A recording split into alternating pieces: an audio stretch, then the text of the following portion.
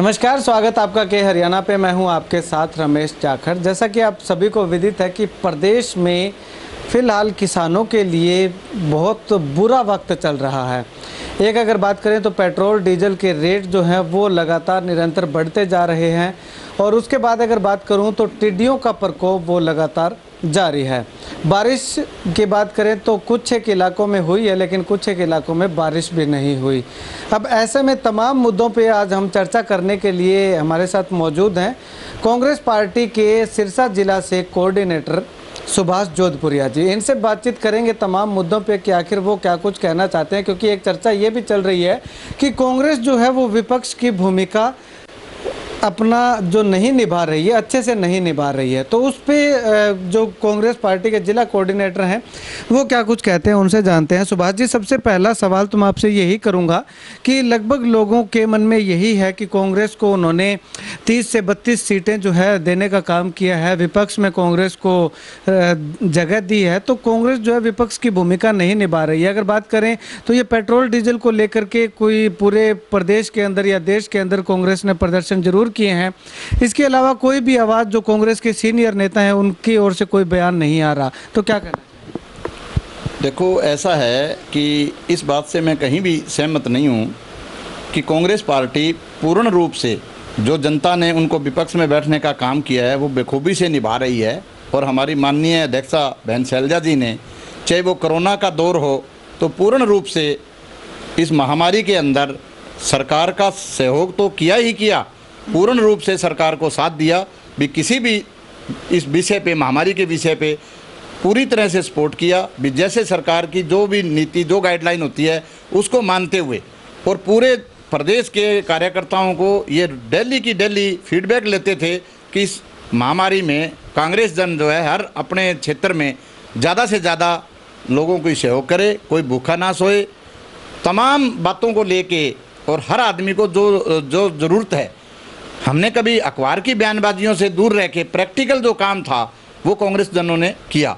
अगर बात करें तो क्योंकि कांग्रेस के पूर्व में उप मुख्यमंत्री भी रहे हैं भूपेंद्र सिंह हुड्डा उनकी तरफ़ से कोई भी बयान अब तक जो है सरकार के खिलाफ या आ, कोई पेट्रोल, डीजल को लेकर के कोई बयान अब तक सामने नहीं आया है। हालाँकि रणदीप सुरजेवाला और जो प्रदेश अध्यक्ष हैं, कुमारी शैलजा जी, उन्होंने धरने प्रदर्शन ज़रूर किए थे, लेकिन भूपेंद्र सिंह हुड्डा किसी तरह का भी कोई बयान नहीं आ रहा। लोगों का कहना है कि इससे तो अभय सिंह चौटाला, जो कि एक सीट लेकर के भी पूरे प्रदेश के अंदर, जो किसानों के हितों की आवाज़ उठा रहे हैं, लोगों के हितों की आवाज़ उठा रहे हैं। नहीं, ऐसा नहीं है। बहन शैलजा जी ने पूरे हरियाणा में रोज़ आप देखो अलग अलग क्षेत्रों में वो होते हैं। और चौधरी भूपेंद्र सिंह हुड्डा जो हमारे पार्टी के बहुत सीनियर नेता है पूर्व मुख्यमंत्री है उन्होंने सीएलपी जो विधानसभा में हाँ, उनको जो उनके जुम्मे जो सीएलपी का नेता होने के उप विपक्ष का नेता होने के नाते उनके जुम्मे जो काम है विधानसभा में सरकार को घेरने की बात है और वो उन्हें उससे भी दो कदम आगे बढ़ के चाहे वो इनेलो के विधायक हो चाहे दूसरे आज़ाद साथी हो सबको बार बार ये कहते रहते हैं कि जिस भी मुद्दे पर सरकार की कहीं भी चूक है या पब्लिक जनहित में कहीं भी अनदेखी होती है तो विधानसभा में बहुत बढ़िया ढंग से हमारा एक एक विधायक जो है चौधरी भूपेंद्र हुड्डा के नेतृत्व में विधानसभा में आवाज़ उठाता है। अब अगर बात करें तो हाल ही में दो दिन पहले टिड्डियों का प्रकोप अपने सिरसा जिला के अंदर देखने को मिला था। केसुपुरा और उमेदपुरा गाँव के बीच में टिड्डियाँ वहाँ पे पड़ाव भी डाला था।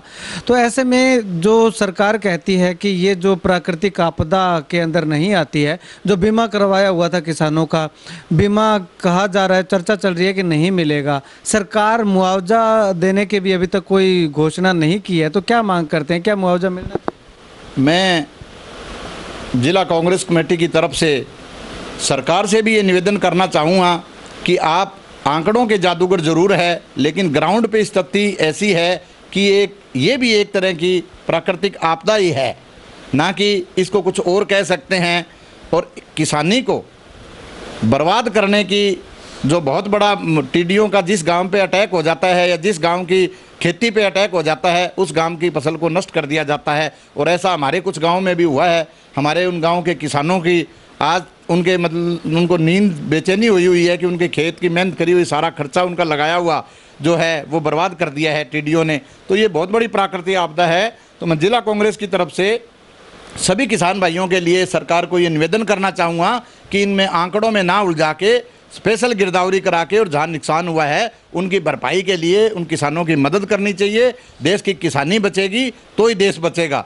बीजेपी में क्या, कहाँ दिक्कत आ गई है कि वो किसानी को इतना बड़ा चोर समझने लग गई है कि देश का जो सारा गड़बड़ गुड़ है, सबसे ज़्यादा कोई चोर समझती है तो बीजेपी जो है किसान को समझती है, जबकि एकदम इसके विपरीत है कि देश की मैं ये समझता हूँ, कांग्रेस पार्टी ये समझती है कि देश की 80 परसेंट जनता जो है गाँव में रहती है और उनका मुख्य धंधा जो है वो खेती है और खेती से ही देश की अर्थव्यवस्था और सारा व्यापार जो है खुशहाल रहता है और ये उस दाढ़ी को काटने की कोशिश कर रहे हैं, जिस दाढ़ी पे बैठे हैं। पता नहीं इनको ये धरातल का ज्ञान नहीं है या जानबूझ के ये किसानों के खिलाफ है। तो इस तरह के किसानों पे हिटलर शाही फैसले थोप के और किसानी को बर्बाद करने में लगे हुए हैं। तो आपके माध्यम से मैं इस गुंगी बहरी सरकार से और जिला प्रशासन से भी निवेदन करूँगा कि तुरंत जो है नुकसान का, की गिरदावरी स्पेशल गिरदावरी करा के और जिन जिन हमारे ज़िले के गाँव में नुकसान हुआ है, उन साथियों को रिलीफ देने का काम करें। नहीं तो इस मुद्दे को लेके कांग्रेस पार्टी को संघर्ष करना पड़ा।